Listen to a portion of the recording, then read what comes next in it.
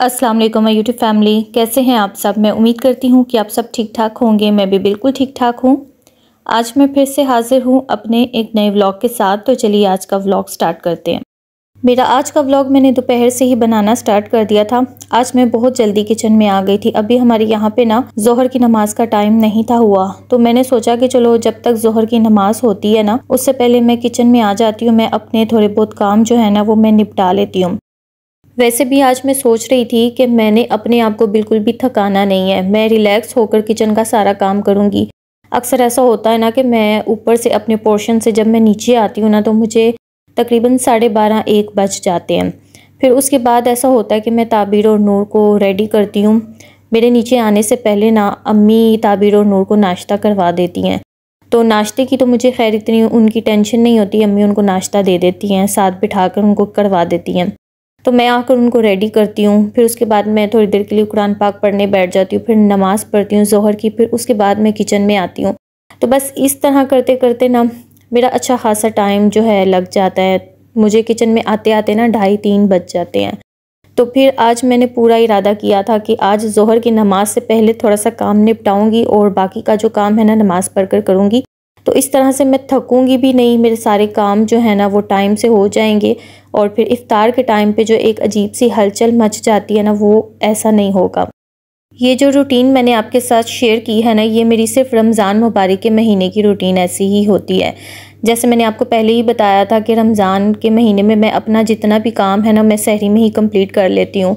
तो इसलिए मैं थोड़ा सा लेट नीचे आती हूँ सुबह के टाइम पे। वरना रमज़ान से पहले की जो मेरी रूटीन है, उससे तो आप खूब वाकिफ़ हैं कि मेरी, वैसे रमज़ान के अलावा मेरी डेली रूटीन कैसे चल रही होती है। वैसे अभी तो मैं यहाँ पे रात के खाने के लिए काले चने बनाने लगी थी। शहरी में मैंने काले चने भिगो कर रख दिए थे, क्योंकि काले चने जितने ज़्यादा भीगे होना ये उतने ज़्यादा अच्छे पकते हैं। और वैसे भी काले चनों को ना गलने में बहुत ज़्यादा टाइम लगता है। तो इसलिए मैंने इसको नमाज़ पढ़ने से पहले ही ना प्रेशर कुकर में डालकर मैंने इसको प्रेशर पे रख दिया था, ताकि जितनी देर में मैं नमाज़ पढ़ूँगी, अपने बाकी थोड़े बहुत काम निपटाऊँगी ना तो उतनी देर में ये अच्छे तरीके से गल जाएँगे। इसको गलने में भी ना कम अज़ कम पौना घंटा लगता है, एक घंटा लगता है। तो काले चने अच्छा खासा टाइम लेते हैं। तो चले मैं यहाँ पे आपके साथ काले चनों की भी रेसिपी शेयर कर देती हूँ कि मैं अपने स्टाइल में कैसे काले चने बनाती हूँ। तो यहाँ पे मैंने तकरीबन एक से डेढ़ पाव जो है ना, काले चने ले लिए थे, वो मैंने प्रेशर कुकर में डाल दिए।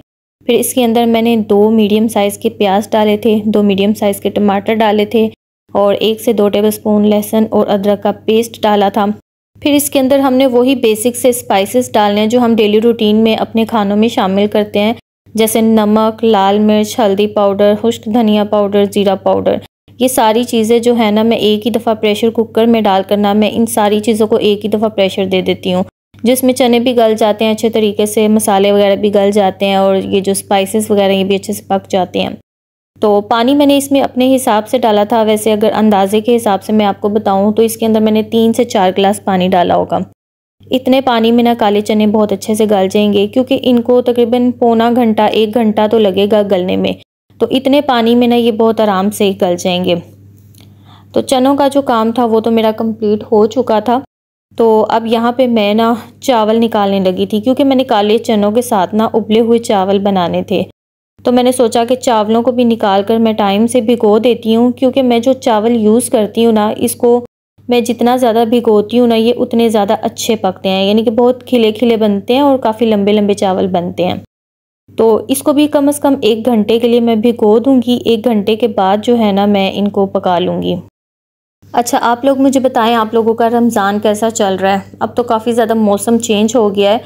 सर्दी का तो बिल्कुल भी नामो निशान नहीं रहा। बहुत ज़्यादा ना मौसम चेंज हो गया है। हल्की हल्की सी गर्मी पड़ना स्टार्ट हो गई है। सारा दिन तो पता नहीं चलता, लेकिन रात में गर्मी लगती है। हम लोग तो रात को पंखा लगा कर सोते हैं। पहले जब भी मैं किचन का काम करती थी ना तो मुझे इतना ज़्यादा फील नहीं था होता, लेकिन अब जब मैं किचन का काम करती हूँ ना तो मुझे प्यास लगती है। भूख तो खैर इतनी ज़्यादा नहीं लगती, लेकिन प्यास बहुत ज़्यादा तंग करती है। और ख़ासतर जब मैं बर्तन धो रही होती हूँ ना तो मेरा दिल करता है कि बस मैं एक गिलास लेकर ना जल्दी से पानी भरकर फ़ौरन से पी लूँ। यानी कि अब काफ़ी ज़्यादा ना मौसम चेंज हो गया खैर, यहाँ पे मेरा किचन का जो काम था ना, वो तकरीबन आधा तो ख़त्म हो चुका था। फिर यहाँ पे नमाज़ का टाइम हो गया था, फिर मैंने सोचा कि सबसे पहले अब नमाज़ पढ़ ली जाए, क्योंकि नमाज़ का टाइम ज़रा शॉर्ट होता है ना तो इसको हम मिस नहीं कर सकते। तो फिर मैंने जल्दी जल्दी से ना यहाँ पे अपनी जहर की नमाज़ पढ़ ली। चले जी, अब यहाँ पे मैं आपके साथ एक बहुत मज़े की रेसिपी शेयर करने जा रही हूँ और ये रेसिपी जो है ना, ये मेरी ख़ुद की रेसिपी नहीं है। आज मैं आपके साथ ना किचन विद अनाया की रेसिपी शेयर करने जा रही हूँ। अच्छा अब आप लोग कहेंगे कि मैं उनको कॉपी कर रही हूँ, मैं उनको कॉपी बिल्कुल भी नहीं कर रही। मैं आपको पहले तो मज़े की बात ये बताती हूँ। कि जब मेरा चैनल मोनिटाइज नहीं था ना, यानी कि अभी तो मेरे वन थाउज़ेंड सब्सक्राइबर्स भी कंप्लीट नहीं थे हुए, मैं तब से उनको देखती आ रही हूँ। और आप कह लें कि मुझे व्लॉगिंग का जो शौक़ पैदा हुआ था ना, यानी कि मुझे व्लॉगिंग के लिए जो मोटिवेशन मिली थी ना, मुझे किचन विद अनाया से ही मिली थी। मैं उनको काफ़ी टाइम से देख रही थी और मैं उनके व्लॉग्स बहुत शौक़ से देखती हूँ। मैं किसी के भी व्लॉग्स नहीं देखती। पहली बात मेरे पास इतना टाइम नहीं होता, लेकिन किचन विद अनाया के लिए मैं स्पेशल से टाइम निकालती हूँ। वो जैसे ही अपना कोई भी व्लॉग अपलोड करती हैं ना तो मैं जब फ्री टाइम मुझे मिलता है ना तो मैं पहले उनका व्लॉग ज़रूर देखती हूँ। तो मैं तकरीबन उनको दो साल से मैं उनको फॉलो कर रही हूँ तो उनके व्लॉग्स मुझे बहुत अच्छे लगते हैं। तो फिर मैंने सोचा कि चले आज मैं ना किचन विद अनाया की ही रेसिपी आप लोगों के साथ शेयर कर देती हूँ। तो आज मैं बनाऊँगी चॉकलेट मॉइस्ट केक तो ये रेसिपी तो किचन विद अनाया की ही है, लेकिन अब मैं देखती हूँ कि उनकी रेसिपी से जब मैं ये केक बनाऊँगी तो इसका कैसा रिज़ल्ट मिलता है। तो चलिए सबसे पहले हम केक की रेसिपी देख लेते हैं। यहाँ पे मैंने आधा कप मेयर कर कर चीनी का ले लिया था, उसको मैंने मिक्सी जार में डाल कर ना मैंने उसका पाउडर बना लिया, ठीक है? उसके बाद यहाँ पे मैंने दो अदद अंडे ले लिए अंडों को पहले हम अच्छे तरीके से बीट करेंगे। जब ये बिल्कुल फोम फोम की तरह हो जाएगा ना फिर इसके अंदर हमने चीनी शामिल कर देनी है, जो हमने पीस के रखी हुई थी। थोड़ी थोड़ी कर कर हम इसके अंदर चीनी शामिल करेंगे और साथ साथ हम इसको ना बीट करते चले जाएँगे। तो सेम टू सेम जो किचन विद अनाया ने रेसिपी शेयर की थी ना सेम मैं वही रेसिपी को फॉलो करूँगी।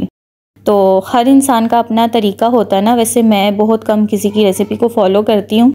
तो किसी की रेसिपी फॉलो करना बहुत ज़्यादा मुश्किल काम होता है। जो इंसान अपनी खुद की रेसिपी शेयर कर रहा होता है ना वो बनाना आसान काम होता है, लेकिन किसी की रेसिपी शेयर करना बहुत ज़्यादा मुश्किल काम होता है। तो मुझे उनका केक बहुत पसंद आया था तो फिर मैंने सोचा कि चलो मैं ख़ुद भी बनाऊँगी ट्राई करूँगी कैसा बनता है और आप लोगों के साथ भी शेयर करूँगी। अच्छा मैं आपको ना एक और मज़े की बात बताती हूँ। जब मेरा चैनल मोनिटाइज नहीं था ना तो किचन विद अनाया के जब मैंने व्लॉग्स देखने स्टार्ट किए थे तो उस टाइम पे माशाल्लाह से उनके ना आठ नौ हज़ार के करीब उनके सब्सक्राइबर्स होंगे। तो जब मैंने फ़र्स्ट टाइम मैंने उनका व्लॉग देखा तो मुझे उनका व्लॉग बहुत ज़्यादा पसंद आया। तो मैं फिर जैसे मैंने उनका एक व्लॉग देखा फिर मैं उनके काफ़ी सारे मैंने व्लॉग्स देखे। तो फिर एक दिन वैसे ही ना मैंने उनके आ, किसी वीडियो के नीचे ना कमेंट कर दिया। वो पहली व्लॉगर हैं जिनकी वीडियो के नीचे मैंने कमेंट किया वरना मैं किसी की वीडियो के नीचे कमेंट नहीं करती। तो मैंने उन्हें कमेंट कर दिया ना कि मैं भी काफ़ी टाइम से यूट्यूब पर काम कर रही हूँ लेकिन मेरा चैनल ग्रो नहीं किया। हालाँकि मैंने उनको नहीं बोला था कि वो मेरा चैनल चेक करें, मुझे बताएँ कि मेरे चैनल में क्या कमी है।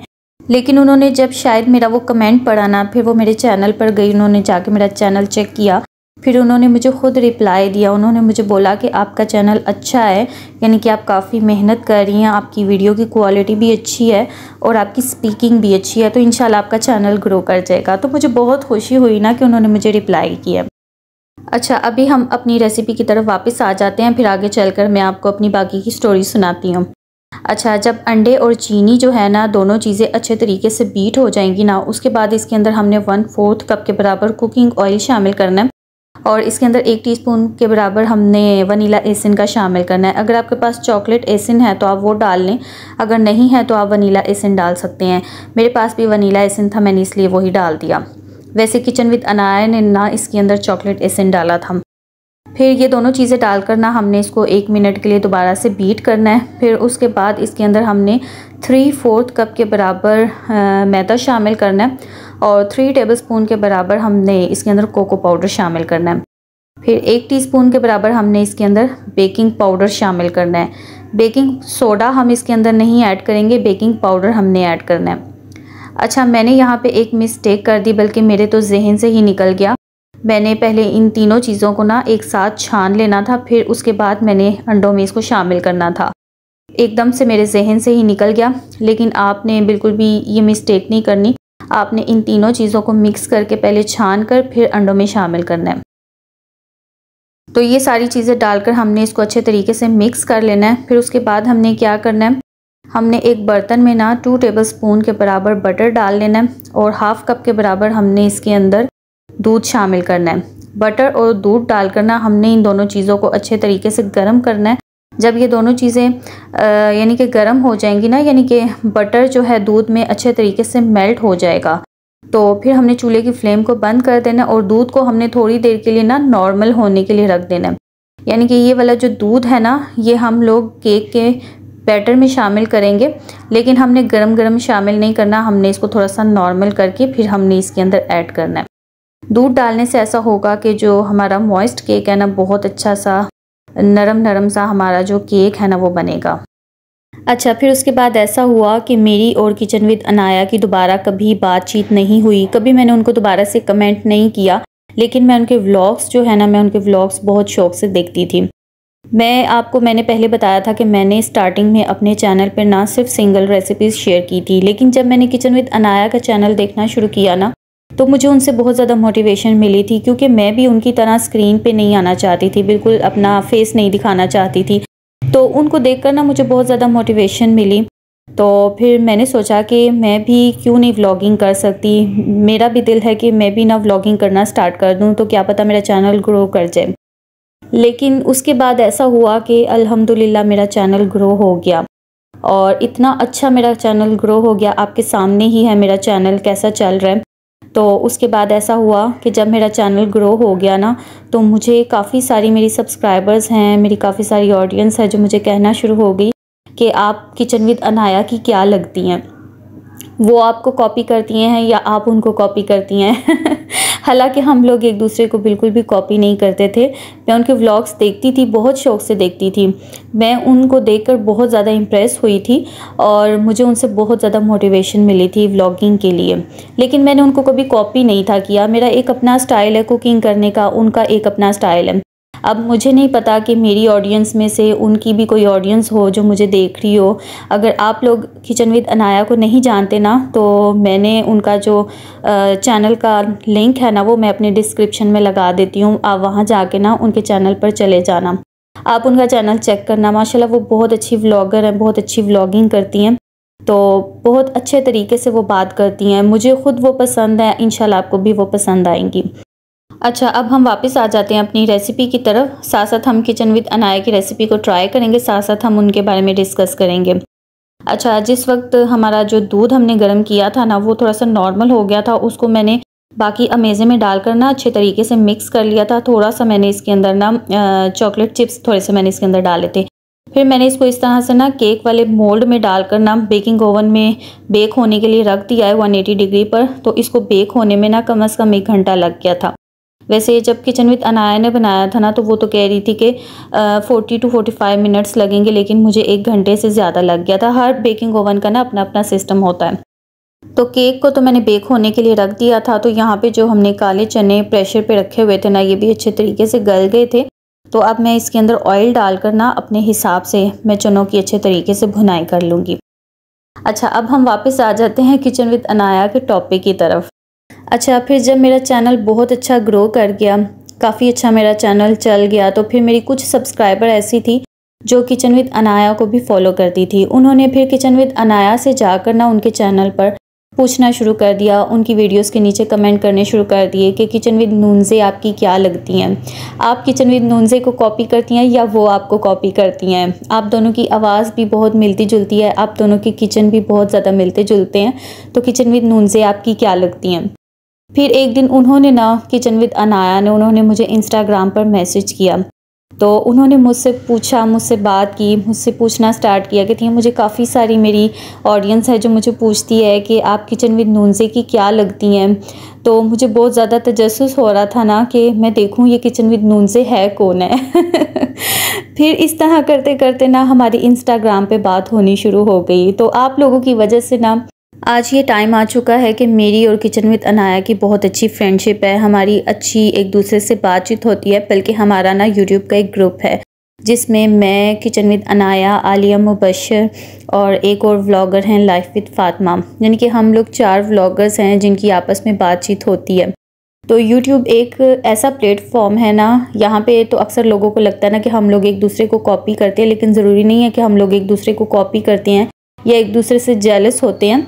ये एक ऐसा प्लेटफॉर्म है ना, यहाँ पे आप लोग एक दूसरे से, यानी कि अच्छे रिलेशंस भी बना सकते हैं। तो माशाल्लाह हमारी अच्छी एक दूसरे से बातचीत है, अच्छी फ्रेंडशिप है। तो जब किचन विद अनाया मेरी बात हुई ना तो फिर मैंने उनको अपनी सारी स्टोरी बताई कि किस तरह से मैंने उनको मैसेज किया। तो उन्होंने आगे से मुझे रिप्लाई दिया। तो आप यकीन जाने, वो कहती है, मुझे कुछ भी याद नहीं है कि मैंने आपका चैनल चेक किया था, मैंने आपको मैसेज किया था, मैंने उनको सारी स्टोरी सुनाई। फिर उसके बाद वो ख़ुद इतनी ज़्यादा हैरान हुई। वो कहती हैं कि आपने मुझे एक टाइम पर मैसेज किया था जब आपका चैनल मोनिटाइज भी नहीं था। तो अब अब जो टाइम चल रहा है ना तो माशाल्लाह से मेरे इतने अच्छे मैंने सब्सक्राइबर्स गेन कर लिए हैं और वो मेरे से काफ़ी ज़्यादा पीछे रह गई हैं।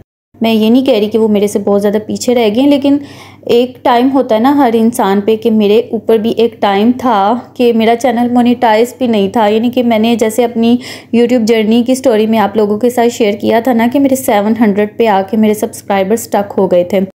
तो उस टाइम की मैं आपको बात सुना रही हूँ कि जब मैंने किचन विद अनाया को कमेंट किया था, ये उस टाइम की बात है।